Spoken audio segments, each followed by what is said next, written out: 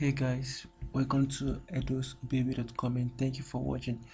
In today's video you will learn how to download your entire media library in wordpress okay? In today's video you will learn how to download your entire the entire media library in wordpress. So how do you download your uh, entire media library in wordpress?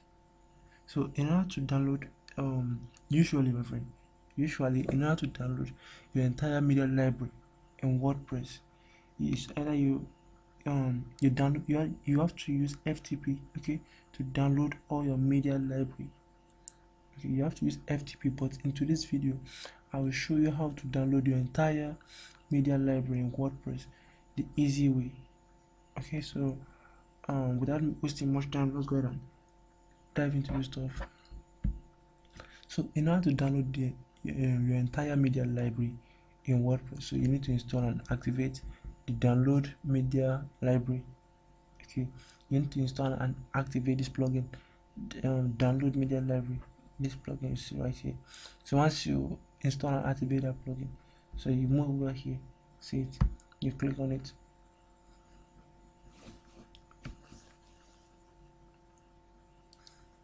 So you see what the plugin um, plugin does is is going to um is going to combine all your media library into a zip file okay? Zip file. Then to just it will put in everything to a zip file for you just like you see here. So this is my entire media library. When i click on this um media library now so it's going to download all the medias okay that I, that i have on my wordpress website so guys that's how you download your um that's how you download that's how you download um, your, your entire media library in wordpress.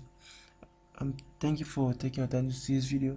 And if you have any question please do let me know in the in the chat right below this video. And if you find this tutorial helpful please subscribe to my channel for more helpful um, videos uh, in wordpress so with that being said i look forward to seeing you soon. Bye for now